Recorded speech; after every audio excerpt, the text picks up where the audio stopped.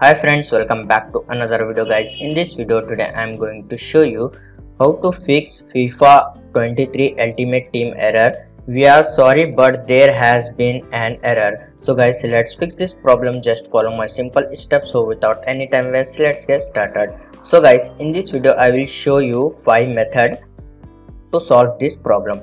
First method number 1 open task manager right click on start menu and click on task manager okay guys task manager is open and find out windows explorer. Okay you can see here select this option and right click and click on end tasks. Okay and close this window. Method number 2 open windows 11 search bar and type control panel. Click to open control panel and click on network and internet and click network and sharing center option. Okay you can see here top of the left side change adapter setting click on it and select the Wi-Fi network. Which Wi-Fi network are you using? Just select it and right click and click on property. Okay and select this option internet protocol version 4 and click on property. And select this option use the following DNS server. Preferred DNS server type like this and alternate DNS server type like this. Okay after type click ok and click close. Close all setting Method number 3. Open Windows 11 setting.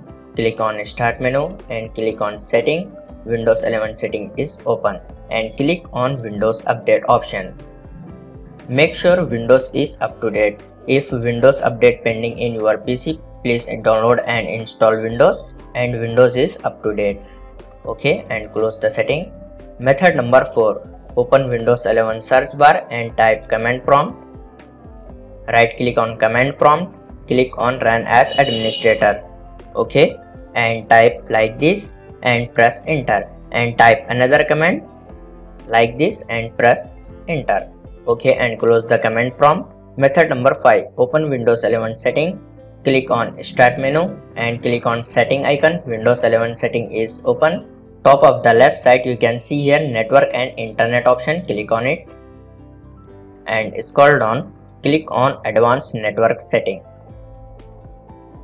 Okay you can see here network reset option is showing. Just click on it and click on reset now. Okay and click on yes. Your windows all network is reset. Okay and close the setting. Okay and restart your pc open fifa 23 ultimate team. Problem is solved. So guys this is way to easily solve fifa game in windows pc Thanks for watching my video. Please don't forget to like, share and subscribe my channel and press bell all notifications. See next video.